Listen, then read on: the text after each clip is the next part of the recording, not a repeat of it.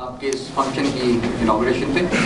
सृष्टि बहुत ही जोग्राफी या जोलॉजिस्ट के लिए एक दिल से छूने वाली बात है। और सृष्टि को कैसे चलाना चाहिए और कौन चलाता है, ये भगवान चलाता है। तो इसके बारे में हम कुछ बताता हूँ। जैसे भगवान, हम इसको पूजा के रूप में मान लेते हैं। भगवान, हम सब बोलते हैं, भगवान कौन है आपका? भगवान कौन है? लेकिन सृष्टि को कैसे चलाना चाहिए, वो भगवान के ज़रिए हमारे पूर्वजों ने बताया। एक छोटी सी बात क्या कि मैं अपनी प्रेजेंटेशन शुरू करता हूँ तो भगवान का अर्थ होता है, जैसे पाँच शब्दों का ये, अक्षरों का ये, भ, ग, वा, अ भ से भूमि, ग से गगन, व से वायु, अ से अग्नि, न से नील। तो हमें इन सब चीज़ों को याद रखते, हमारे पूर्वजों ने बताया, इन सब चीज़ों को याद रखते हुए तुम्हें अपना जीवन यापन करना है। और कोई भी हम कार्य करें तो अपनी, कितने आराम से हम अपनी सोसाइटी के साथ जी सकते हैं और भगवान को याद करते हुए कार्य करना तो इसका मतलब। आज मैं एक पानी के विषय में और क्लाइमेट क्लाइमेट चेंज और उसके इम्पैक्ट हिमालयस और ग्लोबल सिनेरियो में क्या है, आने वाला सिनेरियो कैसे होगा, उसके बारे में बात करूँगा। और मैं अपनी एक प्रेजेंटेशन इससे शुरू करता हूँ कि मैंने बनाया एक क्लाइमेट चेंज आजकल एक बहुत अहम विषय बन गया हर कोई कुछ कार्य करने लगता है, उसके बारे में ख्याल आता है क्लाइमेट चेंज कोई कुछ बोलता है, उसको क्लाइमेट चेंज क्लाइमेट चेंज ऐसे हो गया जैसे कोई एक प्रेयर बन गई। क्या है ये वो इसमें क्या है God give me the courage to change the things I can pollution and technology. Accept the things I cannot change. Climate. Serenity and wisdom to know the difference. तो आजकल क्या है कि कुछ भी चीज़ कर लो, आजकल पोल्यूशन को क्लाइमेट से जोड़ दिया है। टेक्नोलॉजी की डिटीरियोरेटेड टेक्नोलॉजी के कारण जो प्रॉब्लम्स हमारे को फेस हो रही है, उसको भी हम क्लाइमेट से जोड़ दें। वो सब प्रॉब्लम है टेक्नोलॉजी से और पोल्यूशन की। क्लाइमेट से उसका कोई लेना देना नहीं है। क्लाइमेट को एक्सेप्ट करना पड़ेगा कि वेर वी कैनॉट चेंज वो एक नेचुरल साइक्लिक प्रोसेस वो आगे मैं आपको अपनी प्रेजेंटेशन में बताऊँ तो ये रिसर्च जो बेस्ड है, वो मेरी पिछले 20-25 साल से हम काम कर रहे हैं हिमालयस में ग्राउंड वाटर एक्सप्लोरेशन के लिए। तो पहले ये it was considered ground water mountains divide of ground water resources तो मैंने आपका ये पिछले बीस बीस एक साल से हमने इसकी डिफरेंट हिमालयस में काम किया और उसमें हमने इसको पूरे हिमालय, हिंदू कुश हिमालय को डिफरेंट हाइड्रोस्टैटिग्राफिक जोन्स में डिवाइड किया है और उसमें सात हमने हाइड्रोस्टैटिग्राफिक जोन्स डेवलप किए हैं। और उसमें ये मॉडल बनाया है, जिसके कारण एक how ground water is moving in the Himalaya region basically movement and movement of ground water Himalaya एक हमने उसके बाद एक, जब ये पता लग गया तो वी स्टार्टेड दिस कंसेप्ट कि हम इसमें कॉम्पिटेबिलिटी लाएँ और एक मिशन लेके आए कि राइट टू हर एक के पास एक राइट फ्री वाटर के लिए होना चाहिए और फ्री एनर्जी होनी चाहिए। ये बेसिक राइट हमारे पास सूरज की रोशनी फ्री आती है, हमारे पास पानी फ्री आता है। तो इसको मैनेजमेंटल प्रॉब्लम करके इतना कॉम्प्लिकेट क्यों कर दिया जाता है सिस्टम को? ये एक बहुत चिंता का विषय है। तो अगर इसकी मैनेजमेंट अच्छी हो जाए तो ये फ्री एनर्जी है बेसिकली फ्री वाटर है और आने वाले 2030 तक या 2050 तक सिस्टम डेवलप कर देंगे ताकि ये सबको फ्री मुहैया कराया जाए। और इसमें इतनी कॉम्प्लिकेशन ना हो, जैसे दिल्ली की प्रॉब्लम है, पानी की पानी और बिजली की, इतना लड़ाई झगड़े हो रही है तो ये क्या कॉम्प्लिकेट कर दिया गया सिस्टम जबकि ये हर एक के साथ ईजिली अवेलेबल है। जितनी हमारे पास पॉपुलेशन आएगी, उतना सिस्टम बैलेंस कर देता है। तो ये करते करते हमने क्या किया था? ग्राउंड वाटर एक्सप्लोरेशन जब कर रहे थे तो हमने ये पूरे हिमालय में करते करते चौदह हज़ार में हमने आर्टिशियल कंडीशन निकाली आर्टिशियल कंडीशन आप सबको पता ही होगी कि मतलब वो पानी अपने आप आ जाता है। तो इतना ज़्यादा भरमार है हमारे पानी की यहाँ पे कि पानी की कोई किल्लत नहीं है। सिर्फ़ मैनेजमेंटल प्रॉब्लम है हमारे पर और ये हमारे को उसमें जो गिनेस के और लिमका में हमारे रिकॉर्ड आए हैं। सब दर्शाते हैं कि पानी की भरमार है। ये बहुत इंटरेस्टिंग है, ये पिछले साल हमने किया था जब हमारी 1962 की लड़ाई हुई थी चाइना के साथ। तो इस पिछले साल क्या हुआ था, काफ़ी थ्रस्ट हो गया था वहाँ पे, चाइना वाले सेक्टर में, क्योंकि वो चाइनीज़ कुछ कुछ आगे आ रहे थे और कुछ प्रॉब्लम्स वहाँ पे क्रिएट कर रहे थे और उस एरिया में। तो ये वाला जो पीक आप देख रहे हो, ये पीछे वाली, ये ये रिजिंगला की पीक है। जहाँ पे हमारे 114 जवान उन्नीस सौ बासठ में शहीद हुए थे और उसी के कारण हमारे को यहाँ पे ये प्रोजेक्ट दिया गया था। पानी के तो काफ़ी इस दुर्गम क्षेत्र में हमारे जवान वहाँ पे बेसिकली काम करते हैं। Entire army is serving in this difficult post जहाँ पे हमारे अभी भी पानी की इतनी किल्लत है कि पिछले साल तक हम लोग करते तो बेसिक आइडिया क्या था कि जितने भी डिफ़िकल्ट एरियाज़ हैं बेसिकली लद्दाख क्या है, जो हमारा मेन थ्रस्ट एरिया रहा है, वो high altitude cold mountain desert है। एक्सट्रीम क्लाइमेटिक कंडीशन हैं कॉम्प्लेक्स जियोलॉजिकल कंडीशन हैं। और उसमें क्या है कि इतनी अनसर्टेनिटी कंडीशन के कारण वहाँ पे पानी बहुत है, क्योंकि सिंधु नदी बह रही है वहाँ पे। इंदस रिवर इज़ दियर और इंदर इतने बड़े ग्लेशियर्स हैं, फिर भी वहाँ पे जो पानी की किल्लत है, अभी भी बहुत अगर आप जाओगे कभी ले, जैसे अगर आपने देखा होगा उसमें तो वहाँ पे अभी भी किल्लत बहुत है। तो इसमें क्या है कि ग्राउंड वाटर एक बहुत अहम सोल्यूशन आया है, एक इसको सॉल्व करने के लिए। और इसी के तहत हमने सियाचिन ग्लेशियर में भी भेस में हमने ठंडा पानी तो निकाला ही था 2000 में, लेकिन 2012 में हमने गर्म पानी भी ढूंढ निकाला वहाँ पे। अच्छा ये तो तो ये ऐसे जब हम आर्मी के लिए बोर कर रहे हैं डिफरेंट लोकेशंस में, पूरे लद्दाख के एरिया में, हिमालय में हाई ऑल्टीट्यूड में तो हमारे को काफ़ी डिफरेंट अब आपके लिए, मैं तो जियोलॉजिस्ट हूँ तो मतलब मैं भूगर्भ मतलब गर्भ के साथ एसोसिएशन रहता है और आप लोग भूतल से ज़्यादा जुड़ जाते हैं। तो ये ये जो एविडेंसेस निकल रहे हैं हमारे पास, ये सारे जियोलॉजी के बोरवेल के सैंपल हैं। तो इसमें हमने पहली बार पहली बार ये दिखाया कि इंदस रिवर ही था पहले, वहाँ पे उसमें पहले इंदस ग्लेशियर के एविडेंसेस हमारे को मिले इंदस ग्लेशियर जो था तो ये ग्यारह हज़ार सात सौ चौदह साल तक वहाँ पे डोमिनेट करता था मानसरोवर से लेकर इंदस तक। तो काफ़ी ये लेंथ तक जो आइस थी लास्ट आइस वहाँ पे इसका डोमिनेंस थी। तो अगर हम पूछें तो अभी अभी जैसे ज़्यादातर कहानी होती है कि देखो जी अंटार्टिका में नॉर्मल क्या होता है, जो भी यू एन आई की जो जितनी भी आप पिक्चर्स देखेंगे तो वो सारे दिखा देंगे ग्लेशियर इतने मेल्ट कर रहे हैं। ये अंटार्टिका में आइस इतनी मेल्ट कर रही है। तो उसमें क्या होता है आपके पास साइकोलॉजी आएगा अच्छा था इतना मेल्ट कर रहे है। अरे वहाँ पे आइस है, तब मिलेगा हमारे पास जो ग्लेशियर्स थे, वो खत्म हो चुके हैं ग्लोबल वार्मिंग यहाँ से पहले, जैसे चंडीगढ़ वाले एरिया में भी तक ग्लेशियर्स के इम्पैक्ट है या दिल्ली तक भी कई जगह ग्लेशियर्स के इम्पैक्ट है, लेकिन क्या है कि वो पहले खत्म हो चुके हैं हिमालय में। अब इम्पैक्ट खत्म हो गया तो अब क्या है कि वो साइकिल ग्लोबल वार्मिंग साइकिल में हम हैं, लेकिन उसका इम्पैक्ट जो है अंटार्कटिक और आर्टिक में आप देख रहे हो हिमालय में इतना इम्पैक्ट नहीं वो मैं आगे दिखा, बताता हूँ आपको। तो क्या है कि इसमें अब जियोग्राफी के जियोलॉजी मतलब मैं मैं ज़्यादा नहीं करता क्योंकि हम जियोलॉजी के ज़्यादा लेक्चर देते थे। पहले पहला है कि आपके साथ मैं कर रहा हूँ तो ये तो क्या है जियोलॉजिकल डेफिनेशन दिया मैंने इसमें, और वो जोग्राफी से काफ़ी रिलेटेड है। तो बेसिकली क्लाइमेट चेंज क्या है? एक जोग्राफी के या एक जियोलॉजिस्ट के दिशा से तो मेरे ये The climate change is a natural cyclic process of global warming and cooling, like day and night, wherein global warming phase acts as a transporting agency in nature. Floods and cyclones, उसके अहम किरदार है responsible for transporting all the materials deposited during global cooling times. अब मेरे ख्याल से अगर आप इसको इतफाक करते हैं इससे समझ तो मतलब क्या है कि जब भी आपने देखना है कि नेक्स्ट फ्लड कहाँ पे आना है या नेक्स्ट साइक्लोन कहाँ पे आना है देख लो जितना हाइक आपका डिब्रीज पड़ी हुई है, उसको नीचे लेके जा रहा है समुंदर में। तो क्या है ये अगर आप भूगर्भ विज्ञानी के तौर पे देखोगे तो उसमें क्या होता है कि आप इसको पूरे रॉक्स को भी एक लाइफ के फॉर्म में देखते हो। इसका भी जन्म होता है डेवलपमेंट होती है, मरण तो बहुत इंटरेस्टिंग हो जाता है ये और इतना समझ आता है। तो आज की डेट में क्या है, ये ये एक हमारी बहुत इंपॉर्टेंट डिस्कवरी रही है, ये भी मतलब हमने पब्लिश कर दिया इसका पेपर भी आ रहा है तो इसमें क्या है ये हमारे को, ये भी बिल्कुल उधर लद्दाख के बैथलिट्स हैं, वहाँ पे मैसिव बैथलिट्स हैं, जो बहुत, जैसे अब ये बोलते हैं कि भाई कार्बन डाइऑक्साइड हो रही है इंक्रीज हो रही है, या ग्रीन हाउस गैसेज इंक्रीज हो रही है। ये मैं बात कर रहा हूँ जो तीन हज़ार किलोमीटर का वॉल्केनिक इरप्शन है ग्रेनेट इंक्लूजन है। ये इंक्लूड हुई थी, तब भी क्लाइमेट इतना चेंज इम्पैक्ट नहीं हो सकता इतना ज़्यादा इम्पैक्ट जो आज की डेट में हम छोटा मोटा ये कर रहे हैं, इतना नहीं होगा। लेकिन इसमें क्या इंपॉर्टेंट है? ये ग्रेनाइट्स हैं और आप ये देख रहे हो, ये सारे ये सारे एविडेंसेस हैं ग्लेशियल मूवमेंट के। तो जो लास्ट आइसेज आई थी, जो लास्ट आइसेज जब हम इसको कैलकुलेट करते हैं, ग्यारह हज़ार सात सौ चौदह साल तक डेटिंग इसकी कर दी है अप्रॉक्सीमेट जो लास्ट आइसेज थी, उसके बाद हमारी वार्मिंग शुरू हुई है। तो उसमें वार्मिंग में भी क्या होता है? पूरी वार्मिंग नहीं हो रही। वार्मिंग होगी फिर कूलिंग होगी फिर वार्मिंग होगी कूलिंग होगी वार्मिंग होगी कूलिंग होगी ओवरऑल वार्मिंग है, लेकिन ये साइकिल है। तो इसमें हमने ये देखिए, ये जो है, ऐसे ऐसे करके ये जा रही है, ऐसे दस साइकिल हमने ढूंढी है ग्यारह हज़ार सात सौ, चौदह साल से। तो इसमें नेक्स्ट स्लाइड दिखाओ तो इसमें क्या होता है कि ये देख रहे हैं आप, ये जो साइकिल है, बड़ी रिमार्केबल है। ये जो प्रोटूडेंस है इसकी, वहाँ पे मतलब ऐसी है ये कैसे? साइकिल अगर आप इसको देखोगे तो रॉक में ऐसे नज़र आएँगे ये। तो ये ये दर्शाता है एक सी सी की तरह है। तो हमने इसको बोला है सी साइकिल तो क्या होता है, यहाँ पे जो है आइसेज है।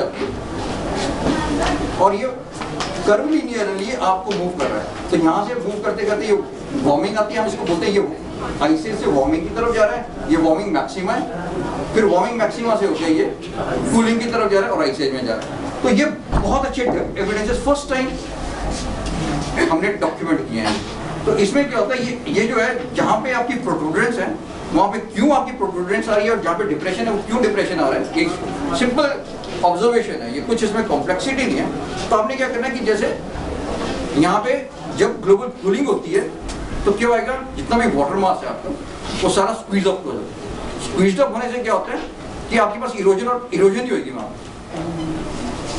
वो इरोजन होती रहेगी ट्रांसपोर्टेशन होगी सॉरी ट्रांसपोर्टेशन होगी और इरोजन होती रहती है।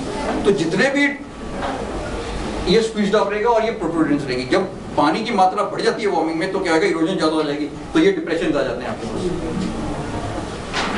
तो ये पूरा का पूरा वार्मिंग फ़ेज़ आ जाती है, ये कूलिंग फ़ेज़ आ जाती है। तो ऐसे हमारे को 10 साइकिल्स मिले हैं, अब उसके बाद नेक्स्ट स्लाइड तो इसमें हमने देखा है कि इसको हमने, क्योंकि मैंने ढूंढा है ये तो हमारा इसका नाम दिया आर्या सी साइकिल और climate change follows a curvilinear pattern. हमने ये नहीं बताया कि वो सीधा जाएगा, जैसे हॉकी स्टिक और ये मेलेंकोविक साइकिल्स और ये जो अलगौर वगैरह कर रहे हैं यूपीआईसीटी इसमें क्या होता है कर्विलिनियर पैटर्न है और ices transform into warming and warming maximum और subsequently culminating into again ices simple तो अब क्या होता है, इसमें अगर हम इस कैलकुलेशन करनी है, इसकी कि अब हम वार्मिंग में है कूलिंग में है, कितने साल की साइकिल आप बोल रहे हो तो पहले क्या होता था, एक जियोलॉजिस्ट को या जियोग्राफी के साथ प्रॉब्लम आ जाती है डेटिंग तो बोलेंगे, तुम तो यार जियोलॉजिस्ट हो, तुम तो मिलियंस ऑफ़ साल्स की बात करते हो. तो कॉपन की जब मीटिंग हुई थी, या नॉर्वे में हम भी थे तो वहाँ पे भी ये सब जब ये पैनल डिस्कस कर रहा था सारे बार तो you sit down because at that time 2008 की बात थी तो हमारा क्या था, वो ये सब ये बातें कर देते हैं, तुम्हारे इतनी एज है. उसके बाद हमने क्या किया सिस्टमेटिकली इसको कंसाइज करने की कोशिश की। अब क्या है, इतनी एज है, इतनी हमारे पास आठ नहीं, पीछे वाला, आठ कंप्लीट साइकिल है और दो हाफ़ साइकिल हैं। तो एक जैसे हमारी एक दिन की लेंथ कितनी होती है? चौबीस घंटे की। मतलब एक दिन को मान लेते चौबीस घंटे। और वैसे एक साल की तीन सौ पैंसठ दिन है। एक क्लाइमेट चेंज की साइकिल कितनी है? तेरह हज़ार अड़तीस साल की। और हाफ़ साइकिल कितने की होगी? Six thousand six hundred seventy approximately next इसमें ऐसे ये मूवमेंट होती है ये मैक्सिमम होता है। यहाँ पे मैक्सिमम आएगा वहाँ पे दोनों आइसेजेस आएँगी। तो इस तरह से एक आप क्लाइमेट साइकिल को डिफाइन कर सकते हैं और इसकी डेटिंग कर सकते हैं। नेक्स्ट इस इस इस डेटिंग के बाद क्या किया हमने? जितने भी हमारे पास सर्कमस्टेंशियल एविडेंसेस थे, वो क्या थे? कि आपका लोथल की सबमर्जेंस कब हुई थी? इंडस वैली सिविलाइजेशन कब डिस्ट्रॉय हुई थी? या आप कह लो लावा मतलब मिडिएवल वार्मिंग कब हुई थी? लिटिल आइसेज कब हुई थी? तो सब ये डॉक्यूमेंटेड हमने हिस्ट्री से फिगर्स लिए।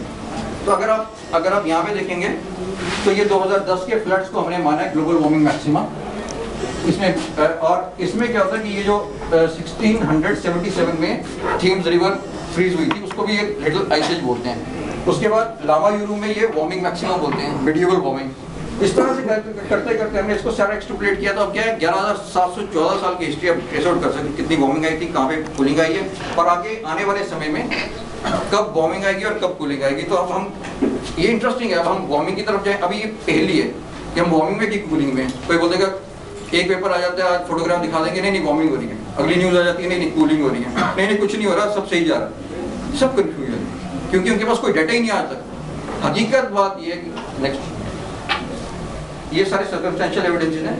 ये ये ये थेम्स रिवर फ्रीज हुई हुई है। ये सोलह हज़ार सत्रह हमारे हमारे डेटा के साथ बिल्कुल मैच करती है।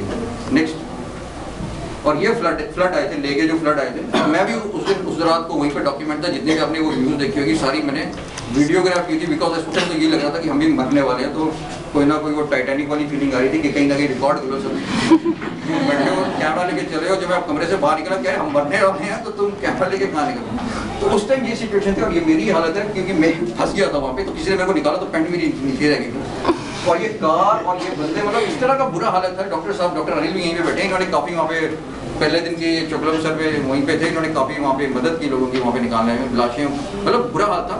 लेकिन क्या है कि ये वार्मिंग मैक्सिमा हमने इसको डिक्लेयर किया क्योंकि three meters of crust three to eight meters ये तीन मीटर तो ये चोकलम सर में क्रिएटेड है। और एट मीटर त्याक्षी जो हमारी एक पूरी बटालियन थी, सोए हुए थे वहाँ पे हॉस्पिटल आया। वो पूरे के पूरा मतलब अट्ठाईस फीट के डेब्रीज में दब गए। और यहाँ पे भी जो हमने लाशें निकाली, डॉक्टर साहब को ही है वहाँ पे। खड़े खड़े ऐसे लोग तो जो थे, ज़्यादा ऐसे मरे हैं, देखो ना। जैसे घर से बाहर निकले अपने तो उनको ये नहीं पता चलना कैसे उसमें क्योंकि हमारे को नहीं पता था। हमारे को भी रात को जब चल रहे तो ये अब पानी में तो चल सकते तो फ्लड आया। ये फ्लड नहीं था। बेसिकली ये फ्लड नहीं था, ये स्लश था मड मड स्लश पूरे का पूरा, जैसे डेब्रिज ट्रांसपोर्टेशन मैंने बात की थी आपको, वो ये था। तो क्या है आप जब चलोगे, इसको पता ही नहीं लग रहा आपको कैसे चलना है। और इतनी इतनी, हमारे हमारे जहाँ पे हम थे, नदी के पास थे, सिंधु नदी, लेकिन वहाँ पे डाइवर्जन थी तो हम बच गए।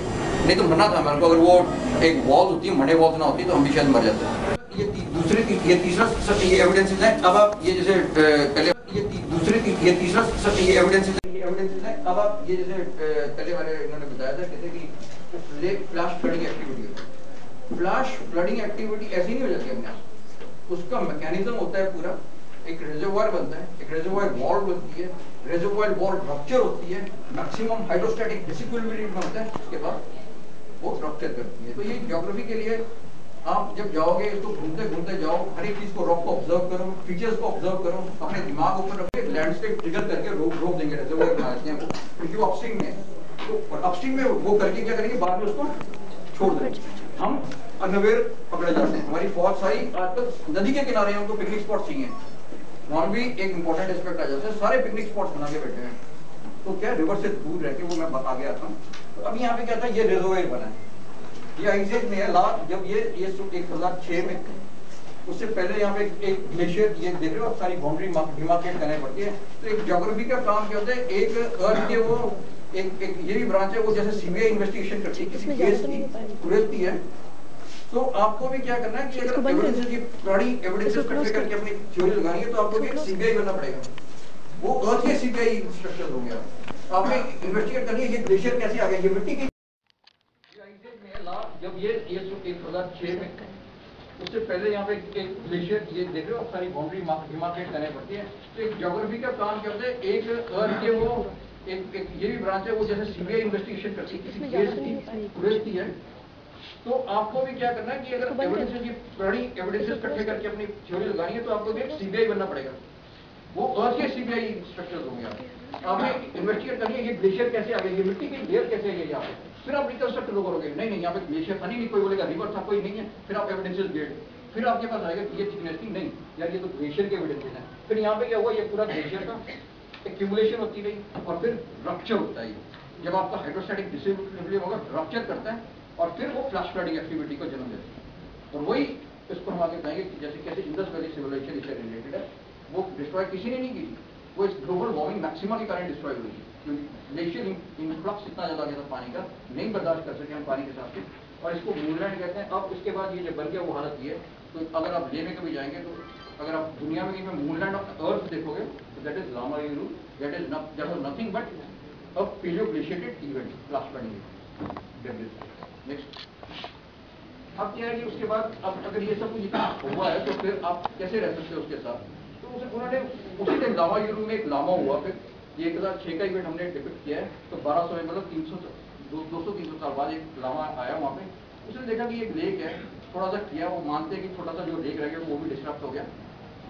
उसने उसी लेक के किनारे में लामा यूरू मॉनेस्ट्री की स्थापना की। और वो स्थापना ऐसी है कि वो चैनल है ग्लेशियर का और उसके बैंक्स पे सॉलिड रॉक फॉर्मेशन पे क्या मतलब अगर जियोलॉजिकली देखोगे तो वेरी स्टेबल फॉर्मेशन जहाँ पे ये स्थापना हुई है और अभी तक इसको मैंने कहा आगे आने आने वाले टाइम तक भी ये रहेगा मॉनेस्ट्री अब इसका ग्लेशियर हिमालयाज में थोड़ा सा उसके बाद बात करता हूँ। एक्सटिंक्ट है। तो मेजर ग्लेशियर थे, जैसे इंडस ग्लेशियर हम बोल रहे हैं ब्रह्मपुत्र की जब रिकंस्ट्रक्शन करने की कोशिश कर रहे हैं। ये सब एक्सटिंक्ट हो चुके हैं। और जो आज के ग्लेशियर्स हैं, वो on the verge of extinction मैं ट्रीट करने की बात नहीं करता on the verge of extinction हो रहे हैं। नेक्स्ट अब आप ये देख रहे हो, ये ये ग्लेशियर के अब इसमें क्या था? पहले तो कुछ डॉक्यूमेंटेशन ही नहीं होता, क्योंकि हम भी अपने से बात करते करते करते, पता भाई तू रह गया, यहाँ पे कैसे आ गया? तो अगर आप ये देखोगे, एक पहाड़ लग रहा है आपको, लेकिन ये नहीं है, यहाँ से ये देखोगे तो ये एक एक्सटिंक्ट ग्लेशियर है। तो इस तरह से हमने जो एक्सटिंक्ट ग्लेशियर थे, उसको मैप करना शुरू किया, कहाँ पे थे तो इसकी थोड़ा सा डिटिंग करके एक्सटिंक्ट ग्लेशियर हिमालय में ज़्यादातर एक्सटिंक्ट ग्लेशियर मिलेंगे आपको। और नेक्स्ट ये बाकी जो ग्लेशियर हैं, वो रिसीड नहीं कर रहे हैं। On the world of extinction है। रिसीड करना तो बहुत छोटी मोटी बातें रही हैं। एक्सटिंक्ट और on the world of extinction अब ये एक इंपॉर्टेंट ग्लेशियर है। जो भी लद्दाख जाएगा जब जिसने भी सुन रखा है खाबुल्ला के बारे में। That is highest motorable road of the world 18,634 feet high. This is lifeline of Leh town, feeding the entire waters. जितना भी पानी खेती के लिए यूज़ करते हैं जो किसान लोग हैं इस ग्लेशियर को पिघलने का गर्मियों में इंतज़ार करते हैं क्योंकि अभी वहाँ पे टेम्परेचर माइनस हैं। सब कुछ पानी के अगर आप, इस, इस समय चले गए तो इंदस के ऊपर आप चल सकते हो। चल सकते हो इंदस के ऊपर। पानी की इतनी आ, वो है। चादर एक्सपीडिशन होते हैं वो लोग जिन्होंने इस पे चलना है। वो एक अलग चीज़ आ जाती है। आपने देखा कि इस ग्लेशियर को कितना सा रह गया है और इसकी हमने रिसीट कैलकुलेट किया तो बीस हज़ार बीस पॉइंट आठ किलोमीटर तक ये लास्ट एक्सिस से रिसीट कर नहीं नहीं ये कुछ नहीं है ये छोटी सी फिगर है। एक एक ग्लेशियर तीन तीन हज़ार किलोमीटर तक हमने अब डॉक्यूमेंट कर रहे हैं हम। तीन तीन हज़ार किलोमीटर तक भी रिसीट किए ग्लेशियर लास्ट एक्सिस से। तो रेट क्या होता है? ये इतना अलार्मिंग कुछ भी नहीं है। जितना बना दिया गया। समझ क्योंकि समझ नहीं है। कोई डॉक्यूमेंटेशन नहीं होती है अब क्या होता है कि अगर हमारा 20.8 किलोमीटर ये रिसीव कर दिया है अब कहानी ये है कि कब तक ये रहेगा और कब तक ये पानी देगा। जब तक ये पानी देगा, उसके बाद क्या होता है, पानी का ये थीम है, उसके बाद पानी की कॉस्ट आप लोगों को तो पता ही है। अब दिल्ली से पानी दिल्ली के लिए पानी लाना इतनी दूर से पानी लाना है। वो पानी लाने की बात नहीं भैया, उसका कॉस्ट कौन देगा? ट्रांसपोर्टेशन कॉस्ट कौन देगा ये कंप्लीट जंगल बन गया आपका। आपके रिचार्जिंग के लिए कोई जगह छोड़ी नहीं है यहाँ पे। पहले मेरे ख्याल से इतना प्रॉब्लम नहीं होगी यहाँ पे क्या कि आपने कंप्लीट कर दो सब कुछ। इसको भी ढक दो, उसको भी ढक दो, उसको भी ढक दो, या बिल्डिंग बना दो। अरे रिचार्जिंग स्ट्रक्चर नहीं आ गया प्रॉपर मैनेजमेंट नहीं है। पानी का लेवल कहाँ जाएगा सिटियाँ सिटीज़ बसाई जाओ लेकिन वो कहाँ जाएँगी? पानी कहाँ से जाएँगे? फिर क्या होता है? कॉस्ट ऑफ़ वाटर इतना बढ़ जाएगा। ट्रांसपोर्टेशन इतना बढ़ जाएगा, वो फ्री में हो जाएगा। कि भाई फ्री हो फिर सबसे ये सब प्रॉब्लम है। ये मैन मेड प्रॉब्लम है कि आप एक एक तरफ़ तो एक अच्छी चीज़ बनाने के लिए, अब खेत है खेतों को कभी भी बिल्डिंग के लिए कंट्रोल नहीं देना चाहिए। खेत बनने में हमारे पूर्वजों ने बहुत मेहनत की। आजकल क्या होता है लैंड ट्रांसफॉर्मेशन एक्ट किया तो वट और उसको पैसे दिए, इतने पैसे डिपॉजिट करो जी, और आपको लैंड कन्वर्ट हो गया तो जोग्राफी आप लोगों को ये, आप लोगों के यहाँ से ये आना चाहिए कि एग्रीकल्चर लैंड एग्रीकल्चर लैंड नहीं बन गया, वो भी बैरन लैंड था। हमारे पूर्वजों ने दे स्ट्राइव राइट मतलब उन्होंने कर करके उसको बनाया और आज देख लो सर, और जब आपकी एग्रीकल्चर लैंड बिल्डिंग्स में कन्वर्ट हो जाती है तो क्या होता है? रिचार्जिंग नहीं होगी रिचार्जिंग नहीं होगी पानी प्रॉब्लम नहीं आपने वाटर बॉडी से बिल्डिंग बनाई अच्छा नेक्स्ट वो सब अच्छा अब ये क्या है? ये एक इंपॉर्टेंट ग्लेशियर है, सियाचिन ग्लेशियर इसके बारे में सियाचिन हाईएस्ट पेट्रोल फ़ील्ड का वर्ल्ड है। हमारे को भी क्योंकि हम ये काम कर रहे हैं तो हमारे को अपॉर्चुनिटी मिलती है जगह पर जाने की एज सिविलियन क्योंकि मैं पहले जाना चाहता था, जब मैं ले गया तो मेरे फौजी दोस्त बन गया। कहता, यार, या तो तू डिफेंस मिनिस्टर बन गया, या फौज में आ जा, भर्ती हो गया, ऐसे तो जा नहीं सकता। फिर उनकी प्रॉब्लम की चंदन नाला है यहाँ पे। इधर इधर चंदन नाला है, और उसने वो वाटर पाइपलाइन बिछाई थी। तो पाइपलाइन बिछा के पानी लेके आया, वो रिपोर्ट करने जा रहा था तो वो जब तक वो रिपोर्ट करके वापस आया, तब तक वो पाइपलाइन फ्लड आया, छोटा सा, और वो पाइपलाइन बह गई। तो डिप्रेस था, मैंने कहा, हम यहाँ पे ग्राउंड वाटर निकाल देंगे तो मेरे को ले चलो वो इमीडिएटली लेके चला गया मेरे को। फिर हमने ये देखा कि ये ये देखिए, अब ये ये ये बेस यहाँ पे जो है, अगर आपको समझ नहीं आएगा तो ये बेस वन है, यहाँ पे आर्मी रहती है, हमारी बेस टू है ये ये बेस थ्री साइड है, और बेस वन हमारा साइड है, यहाँ पे। ये हमारा यहाँ से पाकिस्तान फायर करता है, यहाँ पे। तो ये बेस वन बेस वन ये और ये सियाचिन ग्लेशियर यहाँ से आया थोड़ा सा आइडिया देता तो नेक्स्ट प्रेजेंट इन्होंने डिमार्केट की थी 2005 में, यहाँ पे ग्लेशियर था। और अब ये काफ़ी पीछे चल चुका है। मैं पहले गया था यहाँ पे 2000 में गया था 2000 में हमने पानी निकाला था और फिर 2011 में ये ये 2011 की फोटोग्राफ है मेरे पास। और 2010 मतलब जो 2000 में था ग्लेशियर इसके बिल्कुल पास में था यहाँ पे। इससे भी आगे था थोड़ा सा। वो भी हमारा है लेकिन उसमें क्या है कि रिसीड कर चुके अब ये रिसीड कर चुके इसे हुआ बनाने वाली कोई बात नहीं है यार। मगर मैं बोल मेरे बाल सफ़ेद हो रहे हैं मैं बड़ा भी तो हो रहा हूँ यार। तो इसमें हुआ क्या बनाना? है मेरे को अपनी सेहत का ख्याल रखना है और बस इंजॉय करना है उसको। ये हुआ बनाने वाले जो कंसेप्ट हैं ये बिल्कुल यू एन के। बिल्कुल कहीं इसका अगर वो रिसर्च के पॉइंट ऑफ़ व्यू से देखिए कोई सेफ़ पैर नहीं है। नेक्स्ट अच्छा ग्लेशियर तो श्रिंक रिसीड कर रहे हैं एक्सटिंक्ट हो रहे हैं लेकिन लेक्स का क्या हो रहा है हिमालय ये इंपॉर्टेंट है। अब ये वो वाला नहीं पेंगोंग लेक नहीं जो थ्री डेट्स वाला सोच रहे हो। ये सोमरन लेक सोमरन अब इसमें क्या है कि हमारे को इस साल क्योंकि ये चाइना का थ्रेट था तो इस साल के इस साइड के प्रोजेक्ट्स मिले। तो हमने यहाँ पे इसके बिल्कुल बैंक का, इनका बेस आ रहा था तो वहीं पे हमारे को बोर्डर करने का मौका मिला तो वहाँ से हमने जब बोर्डर सैंपल्स दिए तो आप ये देखिए कि ये जो चीज़ है, आठ मीटर तक रिसीव करती है। ग्लेशियर्स तो एक्सटिंक्ट हो रहे हैं या वर्ज ऑफ़ एक्सटिंक्शन है, लेकिन जो हिमालयन लेक्स है, वो श्रिंक कर रहे हैं। श्रिंक कर रहे हैं। उसका इम्पैक्ट बहुत भारी है। नहीं हम समझ पा रहे हैं, क्योंकि तो जब तक ये आपको नज़र आ रहे हैं तब तक पानी है, नहीं है तो उसके बाद प्रॉब्लम है। तो ये हमने डॉक्यूमेंट किया, एक मीटर अप्रॉक्सीमेटली थाउज़ेंड ईयर्स में रिसीव कर जाता है। हमारी तेरह सौ साइकिल की है तो तेरह सौ तेरह सौ साल में एक मीटर रिसीव करेगा हाफ़ साइकिल में हाफ़ करेगा तो अप्रॉक्सीमेटली एवरेज ये आ जाता है। तो नेक्स्ट आ जाता है तो एक ये ये ये सब रिसीट्स हमारे पास very very well documented next तो अब ये एक और इसमें कहानी आ जाती है पैंगोंग ये थ्री इडियट्स वाली है। तो जो वो करीना कपूर जो स्कूटर चलाती है, ये वो सिनेरियो है बेसिकली तो ये अब लेक है पैंगोंग लेक और आजकल ये बहुत फ़ेमस हो गया इंडियंस के कारण। लेकिन अगर हम इसको थोड़े से पीछे ले जाओ अप्रॉक्सीमेटली से पाँच सौ या छः सौ साल पहले ज़्यादा तो नहीं, ग्यारह हज़ार से मतलब अगर उसमें सॉरी पाँच हज़ार साल पहले। पाँच सौ सौ पाँच हज़ार या छः हज़ार पहले तो ये लेक नहीं था, ये रिवर था। इम्पैक्ट मैं सिर्फ़ आपको बता रहा हूँ इम्पैक्ट ग्लोबल वार्मिंग के हिमालय तो ये लेक नहीं था, ये एक रिवर था, इसको वेल स्टेब्लिश होने के तो ये तिब्बत से निकलता था पैंगोंग से रिवर पास होके तांग से, फिर श्योक में मिलता था। श्योक से ये जाके सिंधु नदी में मिलता था और अरेबियन सी में मिलता था। इतना बड़ा रिवर था। इम्पैक्ट बता रहा हूँ मैं ग्लोबल वार्मिंग के, ये छोटे मोटे इम्पैक्ट नहीं होते ग्लोबल वार्मिंग के। कि इधर से ग्लेशियर दिखा दिया और उधर से कार्बन डाइऑक्साइड का दिखा दिया, मैंने ज़िक्र ही नहीं किया उस चीज़ तब तक हमारा सारा खेल खत्म हो चुका था हिमालय नेक्स्ट तो अब क्या आता है? बीच में आ गई 2008 ये मतलब थोड़े 10-20 साल पहले आ गई थी यूएनआईपीसी इसको फंड दिए जाते हैं। किसी चीज़ को करने के लिए फंड दिए जाते हैं। क्यों बनी है कमेटी इसको बड़े man made impact on global warming को स्टडी करने के लिए। अगर आप बोलेंगे ना ये सब एविडेंसेज हैं तो बोलेंगे नहीं चाहिए क्योंकि committee is made to study man made impact तो इन्होंने कैटेगराइज कर दिया आप जिसके पास पैसे दे रहे हैं, वो बोल देता किसी को बोल देंगे कार्बन डाइऑक्साइड किसी को फॉसिल फ्यूल किसी को ये, किसी को ये एज ए जोग्राफी स्टूडेंट अगर आप ये एविडेंसेज देखो कि मेरे को बताने की ज़रूरत नहीं, आप खुद जाओ ले, उसमें एविडेंसेज देखो, कहाँ पे ग्लेशियर है, आप तो यहाँ पे भी यमुना में चले जाओ कभी, उसको थोड़ा सा और डिग करो, आपको पता लग जाएगा कहाँ पे फ्लूवियल एक्शन था, कहाँ पे ग्लेशियर एक्शन था, यहाँ पे भी ग्लेशियर मिल जाएगा आपको, मेरे को वहाँ उधर इतनी दूर जाने की ज़रूरत नहीं। तो क्या होता है कि अब वो किस चीज़ के लिए पैसे दे रहे हैं? और कमेटी कहाँ पे वो ब्रैकेट है, वो समझने की ज़रूरत है। तो इसको सारे पैसे दिए जाते हैं मैन मेड इम्पैक्ट स्टडी करने के लिए। और अगर आप नेचुरल लेके जाओगे it is not in purview so we don't publish it तो एक नेक्स्ट अब ये आता है अलगौर साहब ये खड़े हैं, इनकी इनकन्वीनियंट ट्रूथ है।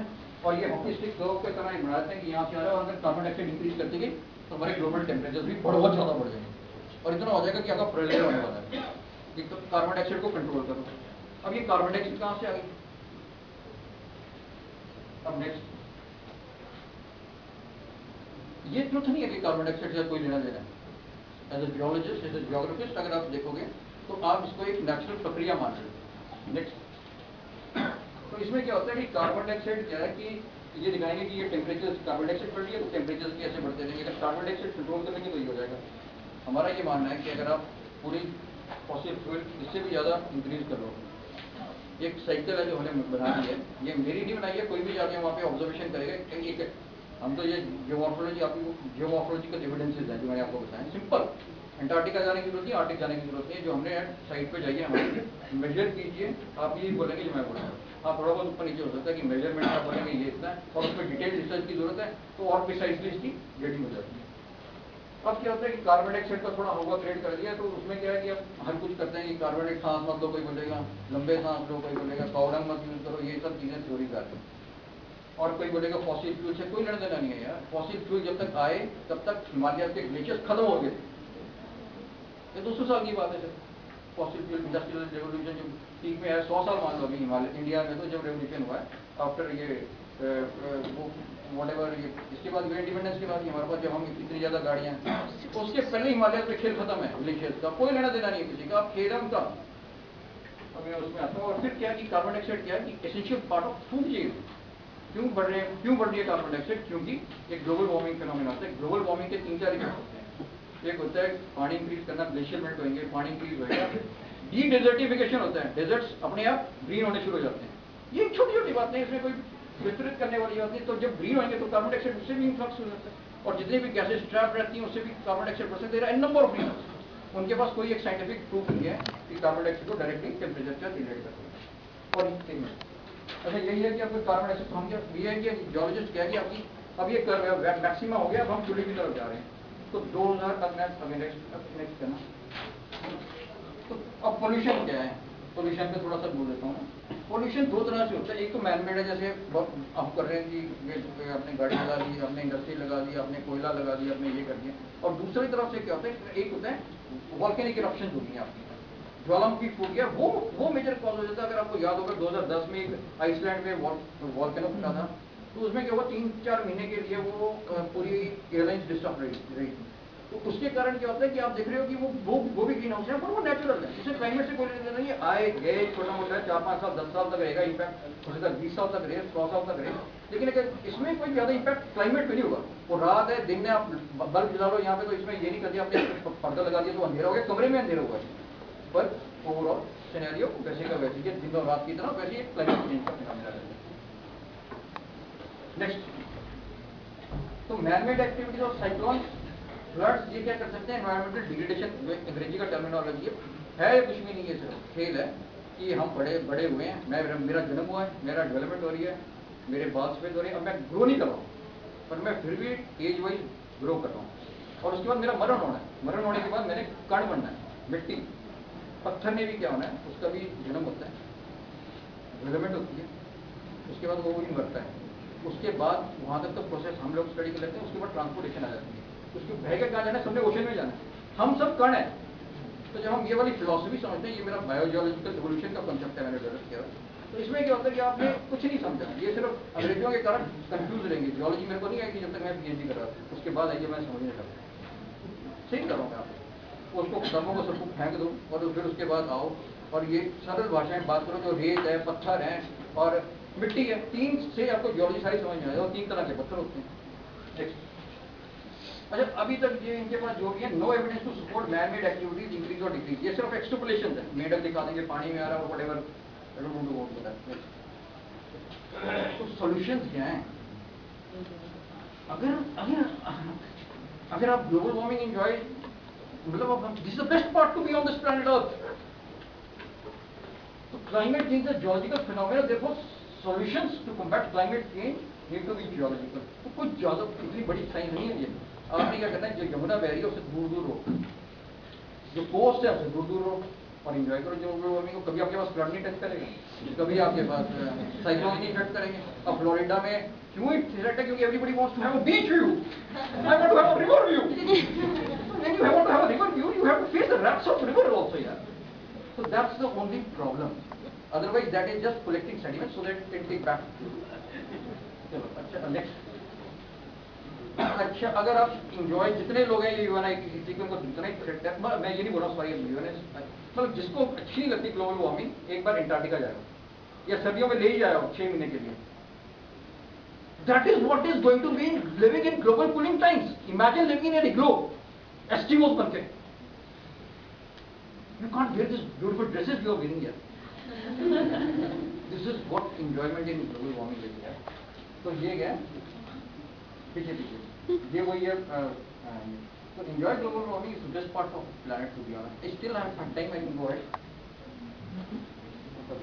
So next तो क्या अब एक impact of warming globally impact क्या होते हैं तो glacier melt more floods sea level rise more cyclone ये छोटी सी बात है ग्लोबल क्लाइमेट चेंज को समझने के लिए कोई फिलोसफी नहीं चाहिए ये दो चीज़ें समझनी चाहिए पहाड़ों में क्या होगा ग्लेशियर मेल्ट करेंगे।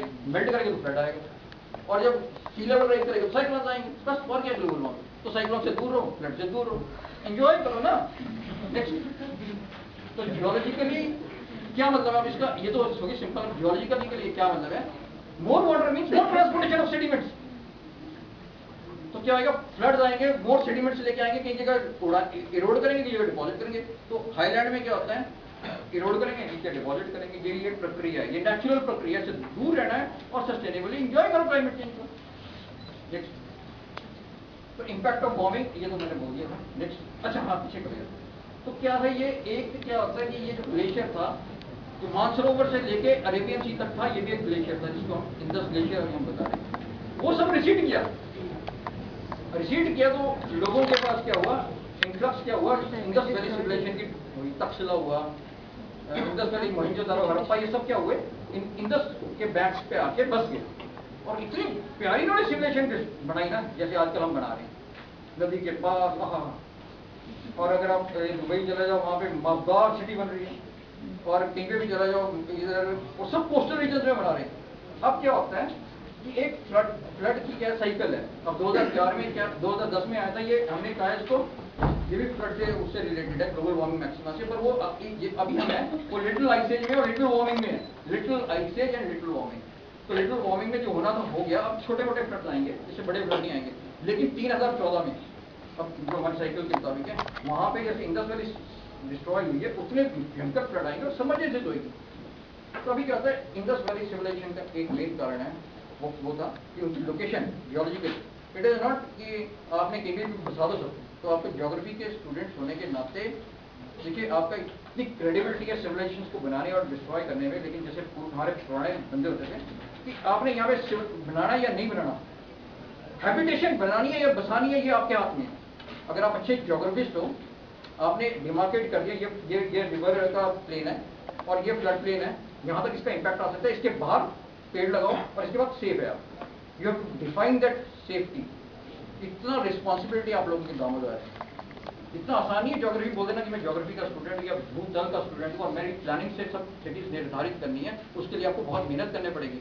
आपकी साइंस जो है, आपका विज्ञान जो है, वो इतना सक्षम होना चाहिए कि अगर आपने एक लाइन खींच दी, उसके बाहर फ्लड की एक बूंद नहीं आनी चाहिए इतना विज्ञान आपको परिपक्ष करना है और आपको अपनी फ्यूचर जनरेशन के लिए छोड़ देना छोटी सी बात है, कहीं नहीं आपको सिर्फ़ फ्लड प्लेन डिमार्केट करना आना चाहिए। यहाँ तक फ्लड आएगा। ये अभी स्क्वीज ऑफ़ है, यहाँ तक इसका इम्पैक्ट रहा है, और उसके एविडेंसेस आप देखोगे जॉर्नल एक एक पत्थर आपको बोलेगा अपनी, मैं यहाँ तक आया था ऐसे आगे नहीं बनूँगा पक्का बोलेगा। बात करो उनसे आप। ये हमने कुछ नहीं किया, ये सिर्फ़ मैंने जो इतनी रिसर्च किया रिसर्च नहीं, मेरे तो पैशन है यार कि किसी को क्रिकेट खेलने का शौक है, किसी को की कीड़र और मेरे को पत्थर। तो ये पत्थरों से बात करने वाली बात है। तो impact of warming and fresh water resources क्या होता है? जब ग्लेशियर्स पिघल जाएँगे, आपके लेक्स स्क्वीज्ड अप हो जाएँगे तो इम्पैक्ट क्या हो रहा है? पानी कम हो रहा है जब पानी फ्री वाटर क्या होता है, अभी क्या हो रहा है? हमारे को सारी नदियाँ आ रही हैं, ऊपर से नीचे आ रही हैं। हमने बताया था कि हमारा इतना बड़ा कोस्ट है, लेकिन पानी नहीं यूज़ कर पा रहे फिर हमारे को पानी यूज़ करने की टेक्निक करनी पड़ेगी, क्योंकि ग्लेशियर तो खत्म है यहाँ। जब हमारे ग्लेशियर्स खत्म हो जाएँगे तो हमारे को क्या करना पड़ेगा? और ग्लेशियर्स खत्म भी हो जाए जब तक लेक फिर जब ग्लेशियर्स खत्म आएँगे उसके बाद फिर थोड़ा सा हमारे पास रिज़र्व रिजर्वर मैं बात कर रहा हूँ दो हज़ार तीस दो हज़ार पचास तक हमारे पास कोई प्रॉब्लम नहीं है उसके बाद क्या होना है हमारी बाईसवीं सदी में वो सब प्रॉब्लम अभी डिस्कस कर उसमें प्रॉब्लम ना आप मतलब अब ये क्या होएगा अब ये फ्रेश वाटर का स्क्वीज अप हो गए अब वो तो ग्रेविटी से सारा पानी आना है हमारे नदी चल रही है ऊपर से नीचे आ रही है हम लोग यूज़ कर रहे हैं इंजॉय कर रहे हैं लेकिन जब वो ऊपर से फ्लो नहीं रहेगा फिर हमारे को ऊपर का जो कॉस्ट ऑफ़ ट्रांसपोर्टेशन बढ़ाना पड़ेगा वो भी एक समस्या cost increases money for transportation अभी दिल्ली वाले तो अभी भुगतेंगे क्योंकि अब अगर पानी को इनको दूर से लाना पड़ जाएगा तो आप लोग यहाँ पे भी महसूस करोगे पानी के अभी आप बीस रुपए देते हो एक लीटर को पानी अच्छा पीने के लिए बीस रुपए एक लीटर देते हो और वही आप जब घर में यूज़ करना हो तो वही आप हमारी गवर्नमेंट इतनी समझदार है कि उसी पानी को आप फ्लश भी करते हो पीने में भी वो यूज़ करते हो फ्लश भी वही करते हो इतना महँगा पानी है तो मतलब उसमें रिसाइकलिंग की ये सब आप लोग प्लानिंग कर सकते हैं बहुत स्कोप है बहुत स्कोप है क्योंकि एक अच्छी बिल्डिंग बनाने के लिए, एक अच्छी हैबिटेशन बनाने के लिए आप लोगों का बहुत योगदान होगा। और पानी सबसे अहम नेक्स्ट फिर क्या होता है? अब ये तो हो गया एक एनर्जी सिनेरियो पे आता हूँ। अब क्या होगा जितने भी इन्वेस्टमेंट है हमारी गवर्नमेंट की, वो सारी हाइडल पावर पे कॉन्सेंट्रेट है। अब जब आपके पास ग्लेशियर ही नहीं है छोटे छोटे ग्लेशियर जाएँगे, कभी आ रहा है, कभी नहीं आ रहा। आ रहा है तो फिर फ्लड लेके आ रहा है, फिर सिल्टिंग प्रॉब्लम है। अब ये सब प्रॉब्लम है तो आपकी इन्वेस्टमेंट इतना जाएँगी। दो हज़ार तीस और दो हज़ार पचास तक मैं सीनियर बता रहा हूँ तो उसमें क्या होगा आपके सिल्टी के कारण वो सारे प्लांट्स की प्रॉब्लम हो जाएगी, अगर फ्लड आ जाता थोड़ा सा। और पानी नहीं है। अगर पानी नहीं है तो क्या करोगे हाइड्रो पावर प्रोजेक्ट कैसे चलाओगे आप? एनर्जी की बड़ी क्राइसिस आने वाली तो एक सिनेरियो है, ये आप लोगों की रिस्पॉन्सिबिलिटी बन जाती है, कितना सिल्ट आ रहा है। ये छोटी छोटी बातें हैं सिल्ट कितना आ रहा है कैलकुलेट करो, उसमें बताओ, ये सारी प्रोजेक्शन बताओ किधर जानी चाहिए फिर हमारी। नेक्स्ट तो अब ये हाइड्रोजन पावर प्रोजेक्ट में ये थोड़ा सा फ्लड आएगा तो ऐसे हालत हो जाती है। और यहाँ पे अगर रिजर्वर इकट्ठा कर देते हैं तो सारी यहाँ पे बायोडाइवर्सिटी और सारा नीचे खराब हो रहा है, सारा। उथल पुथल हो रहा है सिस्टम लेकिन गवर्नमेंट क्योंकि एनर्जी की रिक्वायरमेंट हमारी इतनी है, हमारी हैबिट्स इतनी है, वो इंक्रीज करने के लिए हम ये करते हैं। तो हमने क्या किया था? एक अग्नि युद्ध द्वारा ये लावा एनर्जी है ये ये कंसेप्ट हमने बनाया था दो हज़ार आठ में, और ये इसमें यूनाइटेड नेशन में भी इसमें काफ़ी इसमें कुछ नहीं है इसको अग्नि युद्ध द्वारा हमारा हमारा शब्द नहीं है, ये हमने लिया संस्कृत में है, जैसे भूगर्भ है कितना प्यारा लगता है ये शब्द। ज्योग्राफी देखो, एक जियोलॉजी देखो, और भूगर्भ देखो अग्नि युद्ध द्वारा और लावा। लावा समझ में नहीं आएगा, लेकिन भू, ये युद्ध द्वारा है, लावा मतलब ज्वाला। अग्नि और आग आग से एनर्जी तो ये क्या है, आपके दिल्ली में भी बहुत हम अब सोच रहे हैं नेक्स्ट टाइम में फ़ेज़ में हम क्या करेंगे गीगावाट्स तो वो कह रहे हैं न्यूक्लियर पावर प्लांट्स लगाओ। वो न्यूक्लियर पंप है फ्यूचर जनरेशन के लिए फुकोशिमा या चेन्नई ऑयल में क्योंकि हम लोग ये इफेक्टेड है ये बुढ़े हम मर जाएँगे पाँच पाँच दस दस दस साल में। लेकिन फ्यूचर जनरेशन के लिए हम क्या देखे जा रहे हैं? बात अब ये अपने नहीं अस्तित्व की बात है। अपने प्लानिंग करनी है जोग्राफी के नाते जियोलॉजिस्ट के नाते एक कंबाइंड सोच के नाते। तो उसमें क्या होता है कि आपने प्लानिंग करनी है कि एक बार हमने इन्वेस्टमेंट कर दी, वो सदियों तक रहेगी वो सस्टेनेबल इन्वेस्टमेंट होती है। अभी जो इन्वेस्टमेंट हो रही है रिन्यूएबल के तौर पर तो इन्वेस्टमेंट होते हैं पॉइंट ऑफ़ व्यू होती। अब क्या होता है कि जैसे अब ये, अगर हम इसको विंड से कंपेयर करें या सन से कंपेयर करें तो सन जब आएगा, तब आपको सोलर मिलेगी। विंड आएगा, तब विंड मिलेगी। फॉसिल फ्यूल्स अभी हम यूज़ कर रहे हैं, हमसे नहीं बच सकते, ना हम, पर फिर भी ये प्रॉब्लम है। एक तो लिमिटेड रिसोर्स है, दूसरा रिन्यूएबल नहीं है, और पोल्यूशन क्रिएट करते हैं। और अगर हम न्यूक्लियर पावर के पास हम, जैसे गवर्नमेंट ने पिछली बार हमारा स्टेट लगा दिया कि हमने एक न्यूक्लियर एक गीगावाट्स को अगर इकोनॉमिक्स में बताऊँ आपको तो एक एक न्यूक्लियर प्लांट को एक गीगावाट्स पावर बनाने के लिए अप्रोक्सीमेटली कितना खर्चा आता होगा आपके साथ? आठ छः से आठ बिलियन यूएस डॉलर तक। छः से आठ बिलियन यूएस डॉलर का फ्री ऑफ़ कॉस्ट कोई नहीं देना हमारे पास। उसके लिए फिर फ्यूल लेके आओ, उनकी मिनतें करो। उसके बाद क्या करो, आप लोग इसकी वो डिस्पोज करने के लिए कोई मैकेनिज्म नहीं है, फिर वो देखो, ढूंढते रहो। और हमारी जैसी कंट्री के लिए जहाँ पे पॉपुलेशन ग्रोथ इतनी कॉन्सेंट्रेटेड है और हमारे पास टेक्नोलॉजी डेवलपमेंट नहीं है उसको रोकने के लिए छोटा सा फायर फायर वर्क तो नहीं रोक सकते हैं वो जब तक तबाही हो जाता अपने आप की, तब तक नहीं कंट्रोल कर पाते तो ये ये सब चीज़ सोचने वाली है नेशन है हमारे एक जियोग्राफी जियोलॉजिस्ट ये प्लानिंग कर सकते हैं हम कि इतना इम्पैक्ट आएगा तो आप देखो इम्पैक्ट कितना ये सब आप लोगों ने डिसाइड करना है। ये मेरा एक स्लोगन है geologist whatever geography geologist geological resources and geology are the future of any country. Future of our country. Economic ये कोई भी इकोनॉमिस्ट वो बातें करेंगे थ्योरी में, लेकिन अगर आपने एक रिसोर्स डेवलप करके दे दिया, अगर आपने लाइन खींची कि इसके आगे अगर आप अंदर बनाओगे तो वो एक एक coastal you will be affected by cyclone अगर आप इसके, बना दोगे, इसके अंदर बना दोगे तो आप इफेक्टेड बाय फ्लड तो आपने कितनी बड़ी कंट्री की इकोनॉमी सेव कर दी क्योंकि वो कोई बिल्डिंग नहीं बनी, कोई स्ट्रक्चर नहीं होगी तो वो सस्टेनेबल डेवलपमेंट हो जाती है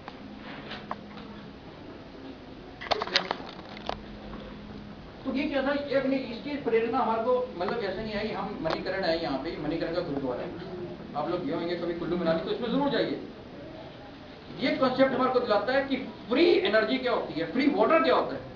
और फ्री जब ये हमारे लिए फ्री बनी हुई है तो हम क्यों नहीं यूटिलाइज करें ये हमारे को बहुत पूर्वजों ने हमारे बता रखा है। अब ये देखो, ये ये जो समझ स्प्रिंग है यहाँ कनेक्टेड लॉ जिसको हमने अग्नि योद्धा का नाम दिया एडवांस फॉर्म अगर हमारे को ये नहीं दिया यहाँ पे तो हम दिल्ली में इसको डेवलप कर सकते हैं। इसकी टेक्नोलॉजी हम डेवलप कर रहे हैं। तो इसमें आने वाले समय में दस, या पंद्रह साल में ये ये सेंटर बनाएँगे अग्नि योद्धा सेंटर तो उसमें क्या होता है कि अब ये खा रहे हैं आप खाना फ्री ऑफ़ कॉस्ट है। इसमें कोई आपकी एनर्जी नहीं यूज़ हो रही है। पानी खाना लाओ इसमें उबालो खाओ। प्रॉब्लम का। और इसको अगर थोड़ा सा और डेवलप कर दो इससे पूरे गाँव की इलेक्ट्रिसिटी कर दो। और करना है हीटिंग कूलिंग सिस्टम कर दो। रेफ्रिजरेशन कर सकते हो इससे एन नंबर ऑफ़ पॉसिबिलिटीज आते हैं अब क्या होता है? एक और सीनरी होता है 2050 के बाद क्या होगा 2030 तक लेकिन सबसे ज़्यादा इफ़ेक्ट कौन होगा western Europe northern part of America Ruska ये जितना भी ये, ये सारा रीजन है जो टेम्परेट कंडीशन में आते हैं ये सारे इफ़ेक्ट हो जाएँगे। और उसमें क्या होता है? जैसे हमारी हम भी एक स्वर्ण चिड़िया थी, सोने की चिड़िया थी। हमारा देश ऐसे नहीं खत्म हो गया, वो एक फ्लैश फ्लडिंग एक्टिविटी थी। जिसने इंडस वैली को हम सब हिल गए फिर अपनी हम संस्कृत भूल गए। हम संस्कृत में बात करना अपने आपको पंडित कह देंगे तो पंडित की बात है। लेकिन हम अपना गौरव में इतिहास भूल चुके हैं। उसने किसी ने बुलाया नहीं हमारे को कि कोई आ गया और हमारे को बुला दिया। वो क्लाइमेटिक कंडीशन ऐसी आ गई कि हम हम लोग हिल गए अपने स्टेट से वैसे ही वो हिलेंगे तो हमने क्या विजुअलाइज किया कि नेक्स्ट मास माइग्रेशन होनी है।